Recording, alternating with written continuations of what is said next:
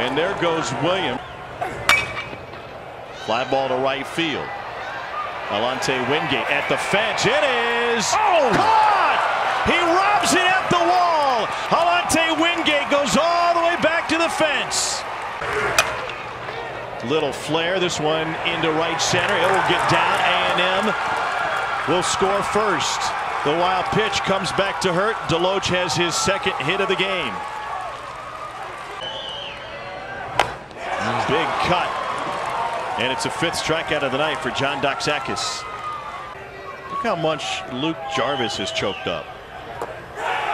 Hey. Couldn't locate the breaking ball. Six strikeouts for John Doxakis. He is not allowed to hit through five innings. Yeah, it's been change up breaking ball. Pitches a strike. It's strike three called. John Doxakis still hasn't allowed a hit through six innings.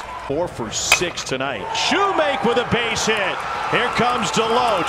Hellman to third.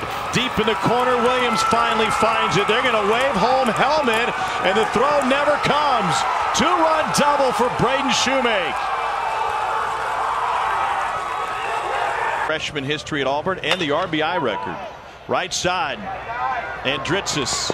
Doxakis covers. It continues. He is through for seven without having allowed a hit. Out of conditioning. Little roller. It's going to be tough. Doxakis to the bag. It is safe. Estes wins the race on an in-betweener.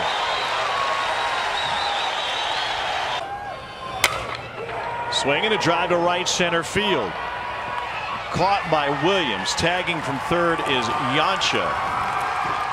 And a sac fly adds to the A&M advantage.